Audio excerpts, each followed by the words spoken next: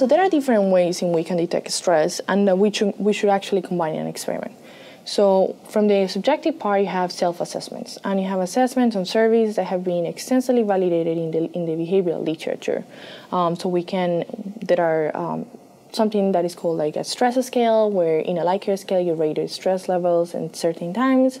You can also use a job stress uh, questionnaire that is going to ask you to rate some stressful, some some potential events that are causing um, stress at work we also have um, certain surveys that uh, ask about your anxiety levels. So it, it, it tried to get into these feelings of apprehensions, nervousness that are correlated with psychological stress.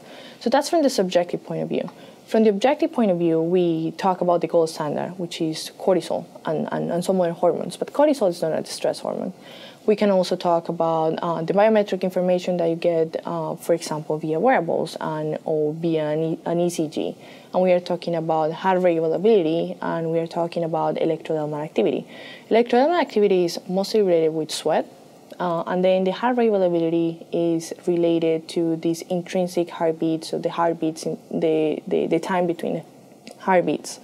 And just to give you some background about heart rate variability, a healthy heart had some uh, irregularities. So you think that your heart beats um, 60 times every minute, so 60 beats per minute, but that's actually not true. There are heartbeats that last uh, 1.8 seconds. Uh, some might last uh, 0.8 seconds. Um, and these are all like changes depending on what branch of your autonomic nervous system is activated. Either the sympathetic nervous system that prepares you for a fight, or the parasympathetic nervous system, which is related to, to relaxation. So every one of us have an intrinsic heart rate. And that intrinsic heart rate is the heart rate that you have when you block all the influence from the, from the autonomic nervous system. Um, when you are relaxed, then you have um, more room for, for, for, variability. So you go, you have more room to get away from these intrinsic um, heart rate.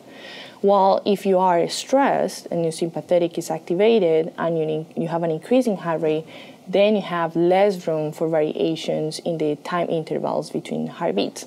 So this is this is a measure that has been um, actually very extensively studied in the literature, and that a lot of researchers have been able to associate with a stressful event or with a cardiovascular problem as well.